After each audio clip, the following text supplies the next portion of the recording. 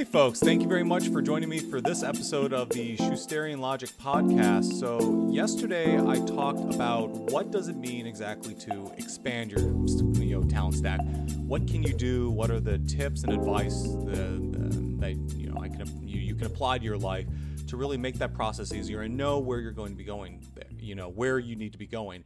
Um, but today I want to talk uh, about the uh, the depth of you know your talent stack, and really I talked about this last week where you have the uh, the model of the T-shaped person that has this breadth around you know this range that they can go into to go through. And there are places that you know they, they really have a lot of skills that they can um, uh, you know they can apply to any position. But there is a well there is a deep well of knowledge that exists somewhere that is where they are you know the most useful to go through. And so the question may come, and it actually has come, which is what exactly do you do to get deep, or how do you know where to get deep? You know, if you're investing time in all these uh, different skill sets and going through and, you know, time and energy is spent on this, how do I know which one of these is worth investing in deeply so that I can go through this? Or do I even have to go deep in one of them? Can I just be a generalist there?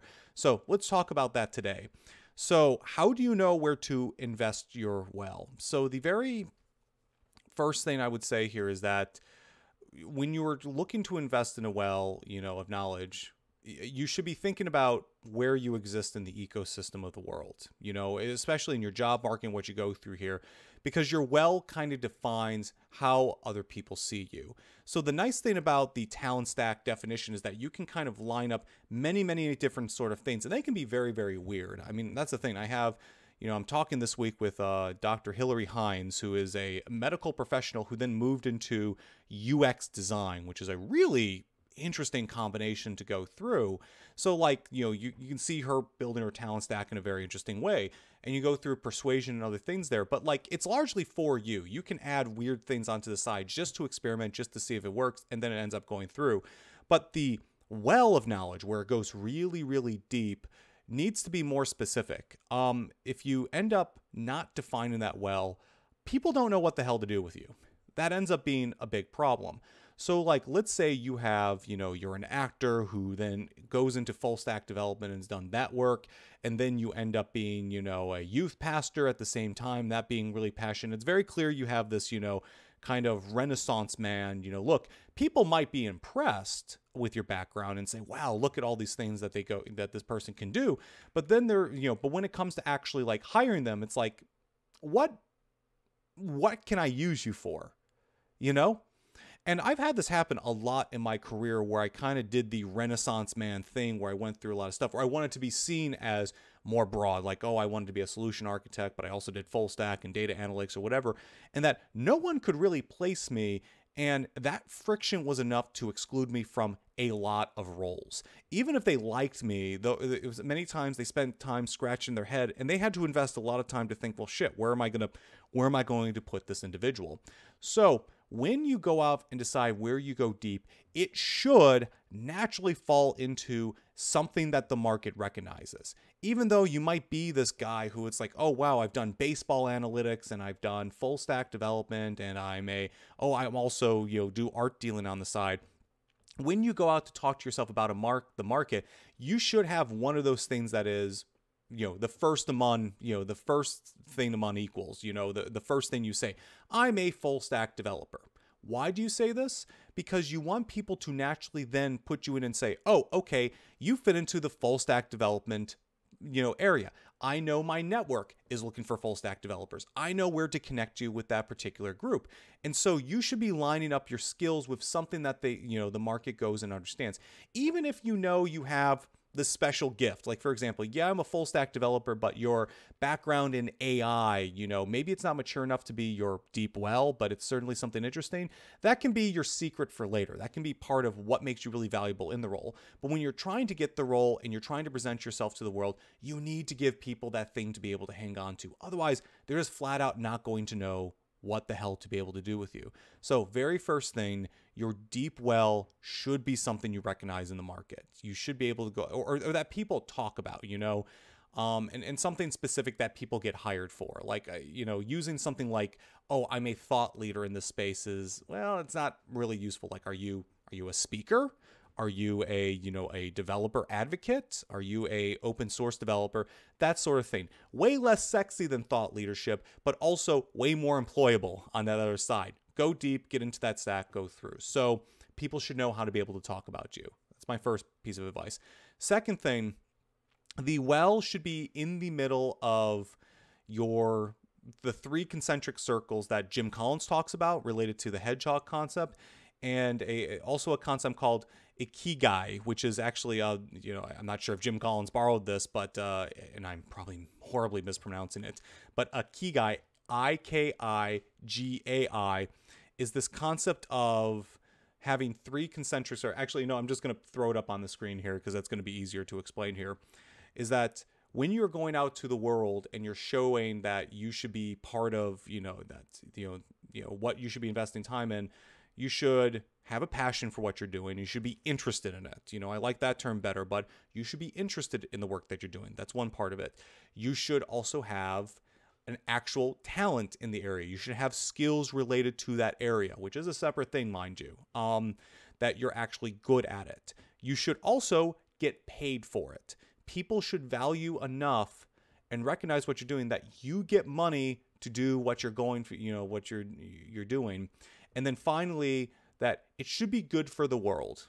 Whatever your definition is of that, whatever that might mean, you should feel that you're going through here. Now, um, I'm going to remove that, and I'm actually going to, you know, now throw up Jim Collins, where he removes the good for the world aspect, but it's also very, very similar. And, and Jim Collins actually uses this himself. He, he's the author for Good for Great you know, good to great. I talk about him all the time on this channel. But he talks about what are you good at? What do you get paid for? And what are you passionate about? And, and during his research, when he was looking at major companies, he said that he just that you could not find a great company that didn't love what they did, didn't have a deep interest to be able to go through. Um, when applying this to an individual, he actually, um, when he was on the Tim Ferriss podcast, he switched the language up to say it's really hard to, out of 7 billion people or 8 billion people to be the number one best in the world. That's really, really hard. So instead, he says you're coded for it, would be the, the thing to go through. And coded means like you're a fish in water. You very clearly understand this you're good at it. Um, you're just a natural, somebody might call you. That's the area you want to be because you're dealing with a much smaller pool there to go through.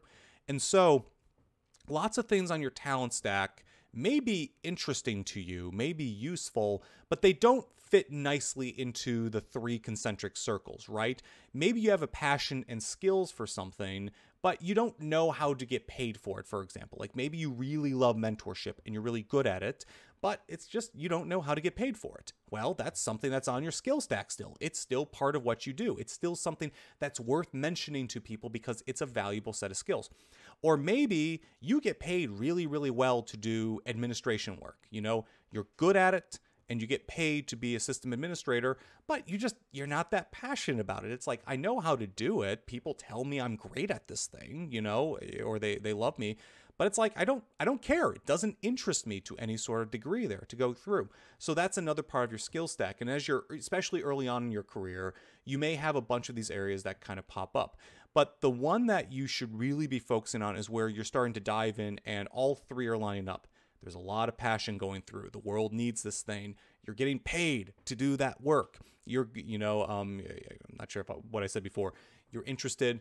You're good at it The world needs it and you get paid for it and all of a sudden it goes through and you're like okay that's the thing that i should really be focusing in which nicely fits into you know my final piece of advice here on where you should be going deep is that as you go through and you know do these things some things are really going to feel like push right like or some things don't really mature. Like if you're going to learn like a new skill like maybe you want to learn ai or you know compute you know like a quantum computing or something you may be doing a lot of the pushing. Like you know like right now damn it i believe spatial computing is going to be one of the biggest areas in the future where it's like there's going to be so many needs on so many different areas somebody you know from a coding perspective from an art creation perspective from just a you just a design perspective on how do you deal with people in 3d space when you have none of the constraints of reality there it's a big problem. No one cares right now. I'm still pushing this idea right to go through and say that we need you know people need to be investing time to these things. That's a lot of push and so for me, as I learn about this uh, space, still kind of part of my extended talent stack, but it's not the deep well. However, the thing that like is the right thing the world should be pulling you towards it. I mean, it almost should be magnetic that you go through. So um, for me personally in my skill stack, um, that would be my my operational knowledge. Um, I've been building operations for companies for, or at least technical operations for, I mean, well, well over a decade. I mean, I've been doing it for my, I did it for my family business in college and even a little bit in high school. Um, when I worked for different organizations, I would always just be drawn to that work and I would go through and do it. And um, now it's, you know, when I entered my new job as a DevOps engineer, Within six months, I was fixing ag- problems in our agile process. Within a year, I was named our ops excellence lead, and I actually had two jobs basically where I was doing both DevOps and operational uh, ops excellence lead. I completely transformed how we did strategy, how we talked about these things, how stories went into our backlog. And it's like I enjoyed the work, I was good at it, I kept getting paid for it. It became my full time job, and I pulled into it. And then, like, finally, like, I took on, you know, a mentee you know, who uh, she learned all my skills. And now she is now being known as an amazing operations person because of the knowledge I gave her. It's like the world was just launching me into this thing. It was almost magnetic to go through and to go through that. Now, here's the thing I could have looked at that and said, okay, um, well, I don't really want to be an operations person. I mean, I like it enough, but it's not my deepest passion to go through. But, you know, and I can block that. And I do see people blocking it because in their head, they're like, no, I need to be a full stack developer, not the manager of a business, you know, not the manager of a restaurant or this other thing or, you know, this other, you know, thing that's coming into my life, which again, that's a personal decision. But if the rest of the world is coming to you and saying that you come to me, I need your help because you are so good at this thing that's a sign that that's where your well is. that's a sign that that's where you should be going with your time to be able to go through. And yeah, some people actually you know put up the blockers to stop that. So to find that thing, you have to really explore you have to experiment and be able to go through, which means you're sometimes going to go off on the wrong path. You may think you are a full stack developer right now. You may think that's what you're doing, but as you go through, it doesn't really click. There's something's missing. You know, your interest is not quite there. You're just not that damn good at it. You know, I mean, you may be competent, but you look at somebody else who is a full stack developer and just go and say, man, you are you're playing at a different level. You just you know the game's lost when you look at them, that sort of thing. Or maybe you just don't get paid for it, or it's like, man, I'm great at this, but I get paid peanuts compared to what I want to be able to make. And that's the sign that you should be looking elsewhere. But as you go through your talent stack, you should be trying to find that thing where it's like, okay, what is well known in the market? What's in the middle of these three circles? What I'm doing, and then finally, is there anything that's just pulling me forward, like this magnetism? Uh, you know that I, that I want to do, and you know that's what you should be really investing in. So those would be my three big pieces of advice related to this area. And I'm sure there's, if you're interested in more specific examples, please let me know in the comments or go through here. Um, I know I have examples from my life, but I would love to bring in other people who have experiences here to go through this and talk about what they've done there. So that would be, you know, I think a lot of fun to go through. So, anyway, I hope this was helpful. I hope this gives you an idea of where you should be going deep with your talent stack and where where your well is located, you know, to go through and make that happen. And quite honestly, sometimes you may need mentorship. Maybe you you know, you, you need someone to go through. So one of the things I'm doing is as I'm doing these videos, I'm connecting with people and talking about them. If you have a specific question or you have specific mentorship, I am open to that. Feel free to connect with me on LinkedIn, subscribe to this channel, go onto my Substack and go through and get my attention some way. LinkedIn today is the best way, but I also, if somebody commented on my YouTube video, that would be probably the quickest way you can get my attention at this point because no one's on that platform right now for me. Um, but if you do that, we can start talking about the specifics you specifically, or you can write a question. So um, speaking of which, um, I, I, got two videos coming up here. One of them is a discussion, a community question from Micro Tadros, who's talking about how does one get it, you know, get the attention of a big tech company as applying as a boot camp graduate. So that's going to be one really interesting question. And the other one that I'm super excited about, Dr. Hillary Hines, who is a you know a doctor, you know, out of Africa, is actually went through the Georgia Tech boot camp and actually got a UX background, and now she's looking for specific advice on where to be able to go next. Super excited about that discussion. I think we're just gonna it's just gonna be amazing. So, anywho, thank you folks for taking some time to chat with me today, and um, yeah, I hope to see you again. Awesome.